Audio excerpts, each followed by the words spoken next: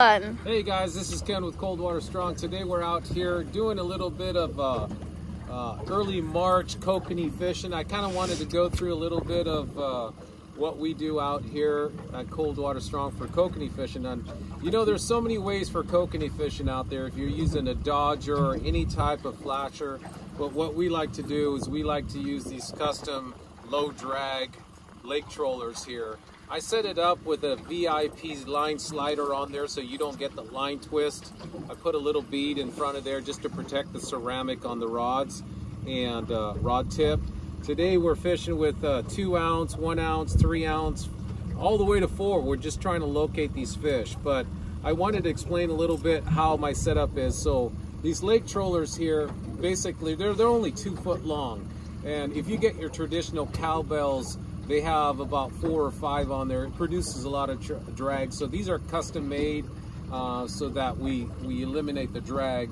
We outfitted it here with these Daiwas and I'm fishing with a Raptor rod, uh, seven foot rod here. Very light tip, very nice custom rods for cold water strong. Um, on this setup here, of course, we have our snubber right there. And so, and then we come to just wedding rings with two hook system with a uh, treble trailer and corn.